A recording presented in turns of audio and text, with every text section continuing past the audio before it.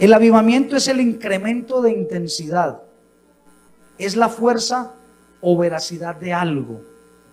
Es un despertar. Es una pasión. Es una restauración total. Algunos asocian avivamiento solo con el éxtasis que se puede generar antes, durante o después de un culto. Pero resulta que el avivamiento trasciende. El avivamiento va más allá. Es un mover sobrenatural de Dios sobre una nación o un grupo de personas. Pero sin quebrantamiento no hay avivamiento. Nuestras vidas se tienen que quebrantar. ¿Por qué necesitamos un avivamiento?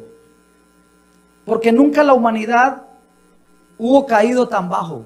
Hay una plaga de divorcios. Nunca antes había sucedido miles de niñas menores de 16 años quedando embarazadas. El sexo ya es un deporte. La inmoralidad ha sido aceptada como un estilo de vida. Lo que eso genera es una nación arruinada. Nunca en la historia habíamos necesitado un avivamiento como en estos días que vivimos. Cuando hay avivamiento, cuando uno se ve a sí mismo como Dios lo ve, cuando existe una convicción profunda y una búsqueda ansiosa que nos mueve a aborrecer el pecado, cuando hay intensidad por la santidad, cuando uno está dispuesto a entregar a Dios su reputación, sus amigos, su pasado, su presente, su futuro y su mundo. Cuando nos derretimos por Dios. Cuando la adoración es, real y es viva, es genuina. Cuando no es para que me vean, sino porque quiero adorarlo a Él. Ahí hay avivamiento. Cuando la iglesia es restaurada, a su propósito original. Aleluya. Cuando hay avivamiento hay oración en la iglesia. Cuando hay avivamiento hay consagración. El avivamiento trae santidad. El avivamiento trae crecimiento. El avivamiento trae adoración verdadera. Le voy a explicar qué trae el avivamiento. Trae visita de Dios y trae provisión de Dios. Hermano, un avivamiento trae un arrepentimiento genuino hacia Dios. El avivamiento trae bendiciones, prosperidad, pero trae la presencia de Dios. Trae un arrepentimiento genuino. El avivamiento trae restauración sobre lo que está roto en la vida y en la iglesia. El avivamiento trae vida a los huesos secos y una unción fresca sobre los mismos.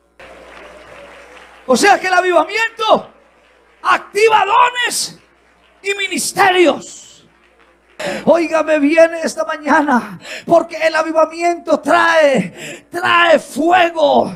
El avivamiento trae pasión de Dios, pero el avivamiento también trae limpieza. Y agárrese duro si usted no está bien esta mañana. Y yo le recomiendo algo, si no está bien, arrepiéntase ahora que hay tiempo. Conságrese ahora que hay tiempo, porque el que bautiza con fuego también tiene el aventador en su mano y limpia la era.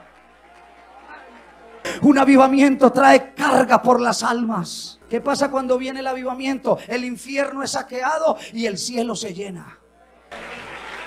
Estaba investigando un poquitico acerca de los grandes avivamientos y pude encontrar seis registros interesantes el 1729 a 1742 se originó un avivamiento en Alemania. El efecto fue que esa raíz de avivamiento llegó a Gran Bretaña y los historiadores dicen que el avivamiento salvó la vida a los ingleses de todo lo que ocurrió con la Revolución Francesa.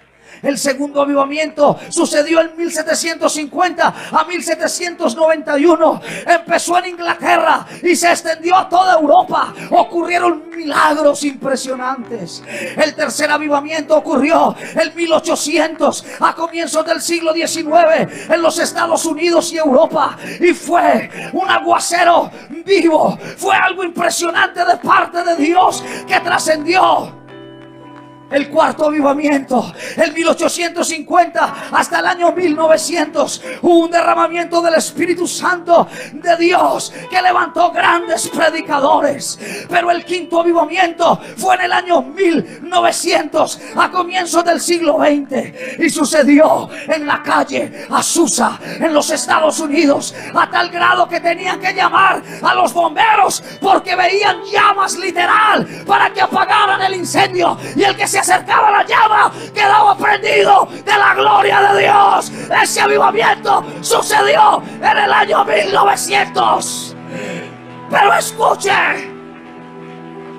en el año 1950 al año 1990, ya de nuestros días, se prendió un avivamiento que ha movido a un evangelismo misionero y ha llevado misioneros al África, al Asia y por toda América Latina. Pero el séptimo avivamiento lo estuve averiguando en la historia y todavía no registra porque lo van a empezar a registrar. Este será el séptimo avivamiento que Dios empezará a levantar, a levantar en este tiempo. Donde Dios va levantar, va a levantar hombres, va a levantar mujeres, va a levantar hombres llenos de poder.